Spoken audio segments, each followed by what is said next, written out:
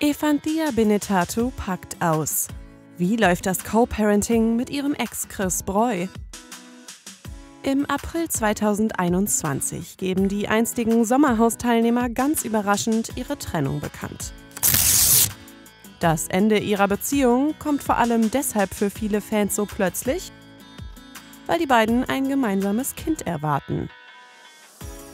Doch nach dem Liebesaus kehrt bei dem einstigen Traumpaar kein Frieden ein.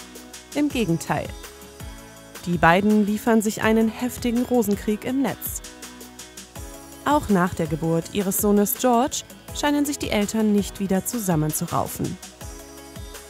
Mit Charlotte Würdig spricht die einstige Bachelor-Kandidatin jetzt in einem Podcast ganz offen über das Co-Parenting mit ihrem Ex. Dabei gibt Eva ehrlich zu, die gemeinsame Kindererziehung gestaltet sich als ziemlich schwierig. Leider sehe ich von der Seite des Vaters nicht wirklich viel Bemühen. Er sieht ihn jetzt einmal die Woche für eine Stunde und das halt eben draußen. Weil er sich einfach weigert, bei mir zu Hause mit dem Kleinen Zeit zu verbringen, weil es mein Zuhause ist. Es ist aber das vertraute Heim des Kindes. Dieses Verhalten kann die Neumama überhaupt nicht verstehen.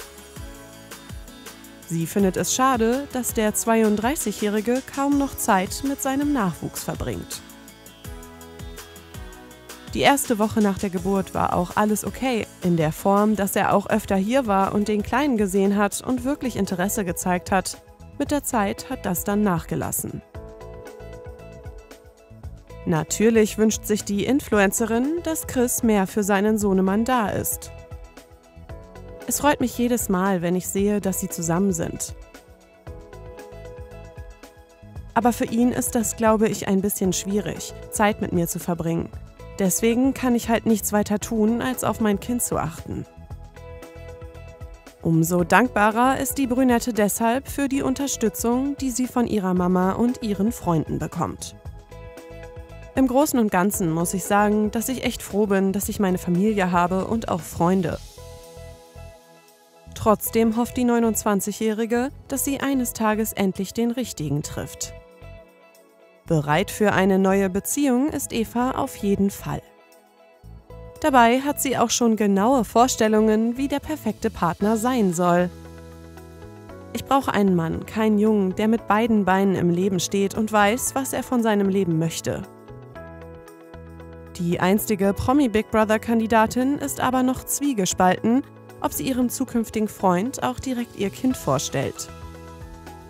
Die Griechin geht die Partnersuche momentan auch ganz locker an. Sie glaubt, dass ihr der Richtige eines Tages bestimmt über den Weg läuft. Ich suche nicht krampfhaft danach, überhaupt nicht. Doch sobald Eva wieder vergeben ist, lässt sie sicherlich auch ihre Fans an ihrem Liebesglück teilhaben.